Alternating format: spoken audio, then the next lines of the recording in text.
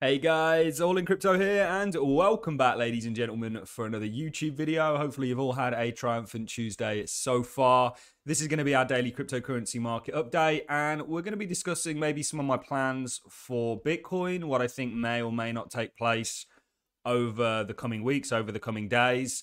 Um, looking at potentially some short term trade setups. We're also going to go over the news that's taking place at the moment. Uh, we made a video yesterday that's well worth a watch. Now, I know some of you only tune in to my uh, daily cryptocurrency market updates. However, in yesterday's video that we released in the evening, we spoke about the unemployment rate um, overlaid onto the stock market. So I just want to go over this very quickly for anybody that missed it because it's important and really is one damn good reason to remain bearish on the markets across the board. Um, and not flip bullish just because we've had some sort of a capitulation event in the crypto space. You know, we haven't yet seen, I don't think, the full forces of this recession, if not depression, um, that we are now in. And yes, we are seeing a lower CPI print, which has caused markets to reshuffle. We lost about 50 basis points worth of interest rate hikes for the US. So people are now looking to reallocate that future capital um, to these um, different asset classes, if you will. So very quickly, guys, and then we'll get into the video. I just really want to reiterate this because it's super important. This is the unemployment rate. This, of course, is in the US. This spike here was, of course, March 2020. Uh, and I just want to overlay the S&P. And I want to show you the correlation here because when unemployment is at a low, typically the stock market is at a high. So the last low we had for unemployment was just before the March 2020 sell-off. And then, of course, when you get unemployment at a high, Usually it means the stock market is at a low, ladies and gentlemen. And we can look at 2008, unemployment at a low. We're at lower unemployment levels today than we were in 2008, by the way, to put things into context. Market generally at a high. And then as unemployment starts to tick up, we then see um, uh, the, the, the, sort of markets.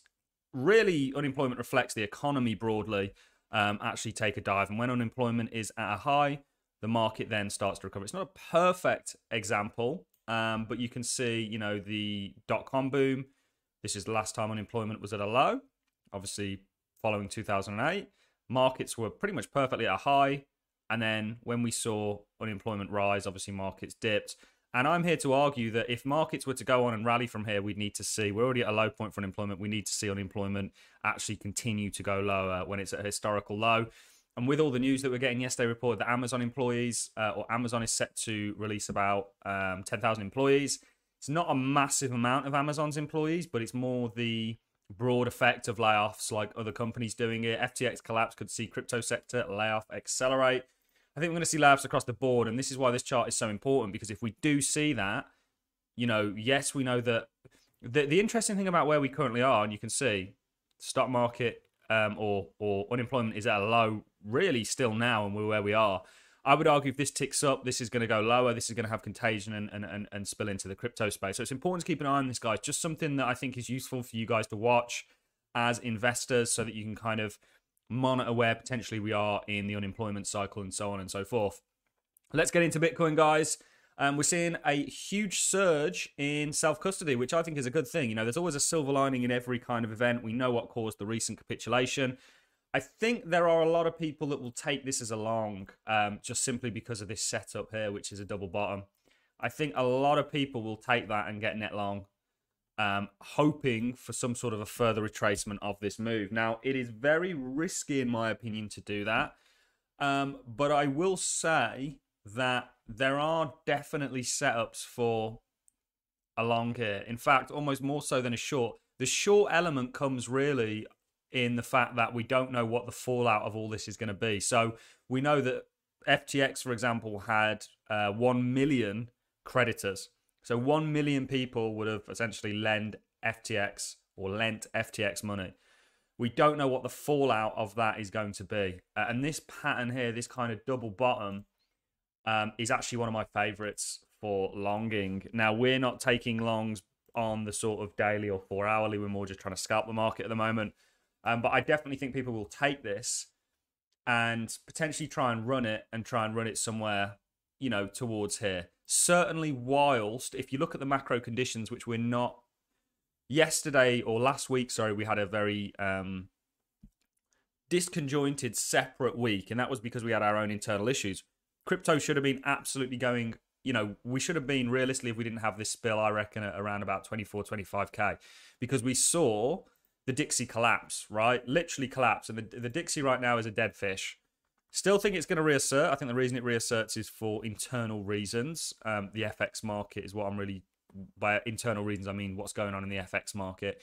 But the Dixie collapse, this provided a good shelter for the stock market. Again, why was this? Because of the CPI print. People are now looking to reallocate capital because they know that there's going to be more capital available as we're going to have a lower interest rate hike into the future. Remember, interest rates, or sorry, uh, markets are always forward looking.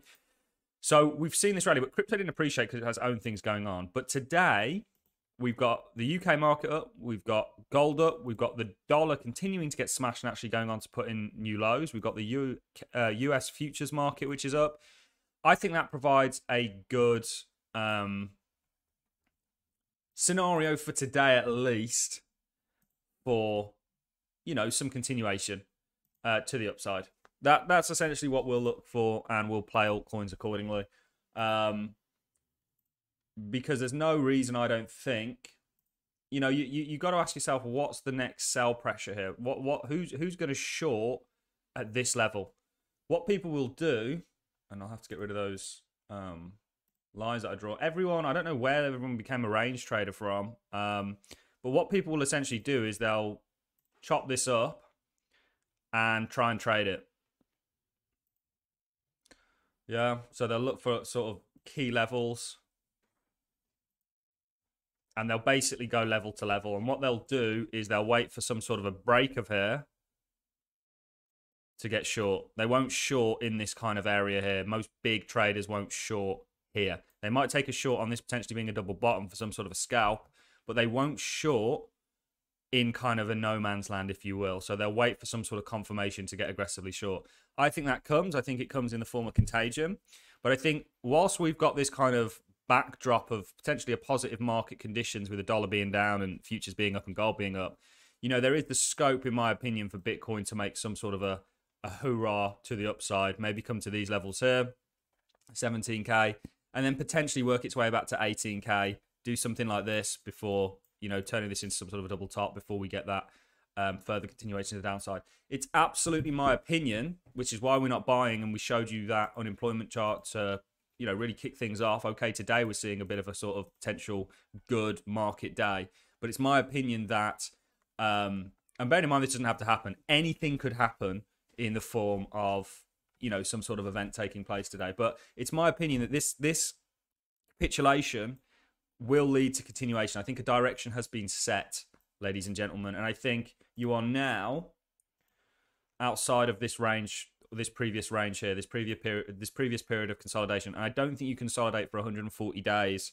only to have a 15 20% sell off i think i think you know that, that, there's probably significantly more coming some positives are that the capitulation if this was it are now getting smaller um, but for me i you know I, I think that you're essentially in some sort of a period like you did over here where you're just kind of going to consolidate for a bit stall and then you're going to roll and which is why i think it's it's pretty dangerous to take along you know you can see you come down you consolidate, you consolidate. I think there's still sort of more downside to come from this, if you will. I think you're just at a sort of um, a step before you then get that continuation to the downside. You know, when do we flip bullish? Well, we'd flip bullish if we came back and retraced this move. So if we did something like this and came all the way back, okay, then you can have confluence that, you know, that, that there's a lot of strength in this market and that the whole FTX damage has been somewhat undone in terms of price action.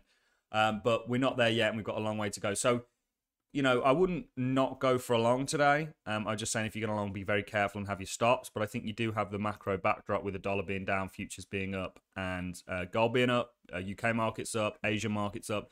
It's an up day generally. Um, that being said, though, make sure you have your stops. I think people will take this and they'll try and basically ride it up to you know where you really started consolidating. I think, um, but we will see. And remember that there are so many catalysts around the corner. That does not mean that we're bullish from sort of a mid. By short term, I mean a matter of days. Mid being weeks to to months, and then uh, a longer time frame being months. We're still pretty darn bearish. This is just one reason, one thing that we look at. We think unemployment's going to uh, tick up and we think that means markets generally are going to come down. Um, we do not envision a soft landing. I think that with the amount of debt that we've got, okay, we've seen capitulation in the crypto market. We've seen a bit of a rough time for the stock market. But I think that there's a broader market that, you know, the Fed are championing to not break. And I think that's the debt markets. And I believe the debt markets will break. And I think that when I talk to people, when I talk to them about their mortgages, when I talk to them about, you know, general things, bills, etc., etc., they're feeling the effects now. And most of them haven't even gone on to a variable rate, or most of them haven't, you know, really had to feel the full force of these interest rate hikes, which, you know, are going to lead to a slowing down um, across the board. Uh, and that's why we remain bearish. For now, the time to be bullish will come, but we're not in the um, business of catching falling knives. Really, we want to set ourselves up for generational wealth through um, picking our time to invest appropriately. Um, that's all I've got for you in this video, guys. It was just a bit of a short and sweet one, a quick update. I'm going to love to leave you on that note. If you've enjoyed the content, like is always appreciated, so is a comment. And look forward to seeing each and every one of you in the next YouTube video. Thanks a lot for watching, ladies and gents.